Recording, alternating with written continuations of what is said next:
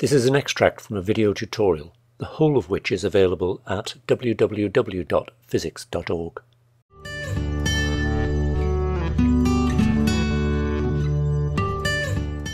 There are musical instruments of all shapes and sizes that we blow into, which rely on standing waves in tubes. Sometimes the tubes are open at one end and closed at the other, and sometimes they're open at both ends. Most of these instruments are complicated shapes and difficult to analyze. It's difficult to see the connection between the note and the size of the instrument. So we will look not at simple musical instruments, but at a very simple arrangement of a tube in a jar. The tube's put in the jar because by raising and lowering the tube in the jar, we can alter and easily measure its length. We can use this arrangement together with a source of sound which produces a standard note, in this case a tuning fork. We will raise and lower the tube until there is resonance between the tuning fork and the note produced by the tube.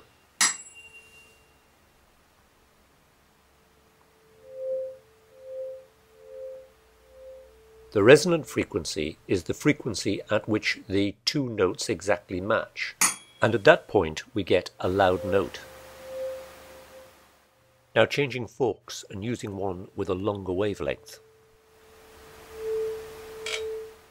The resonant point is at a different length, which we can measure, although perhaps not very accurately.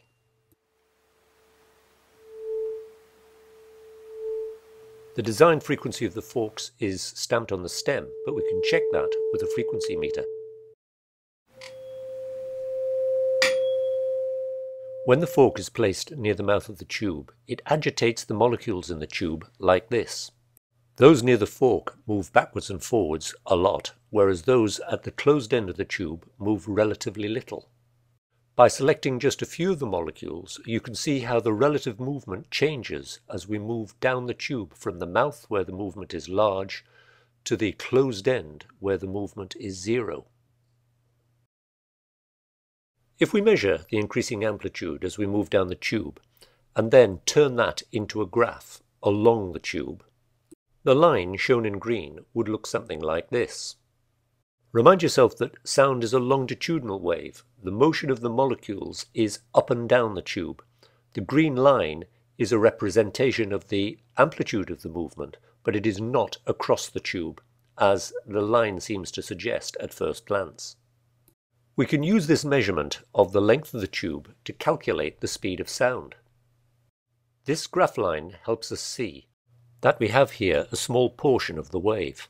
If we reduce the size of the diagram and then extend the graph line so that we can see a complete wave, then from this extended diagram we can see that the original part of the tube is equal to a quarter wavelength.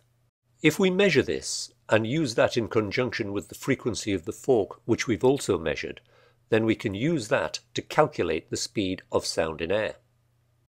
Looking closely at the resonance points again, the length of the tube at resonance is around 155 millimeters.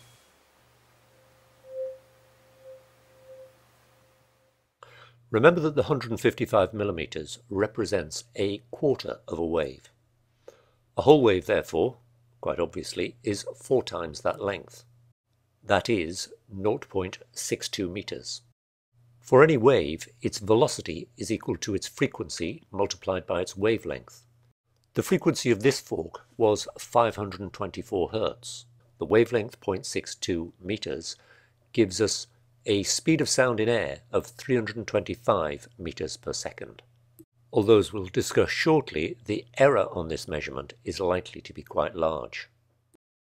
This extract represents about a third of the total tutorial. There is a further tutorial on standing waves in wires. With many others, these are available at www.fizzics.org.